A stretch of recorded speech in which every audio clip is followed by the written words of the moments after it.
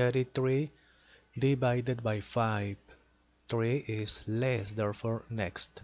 33 is not less therefore with 33 5 multiplied by which number is nearest to 33 but not greater.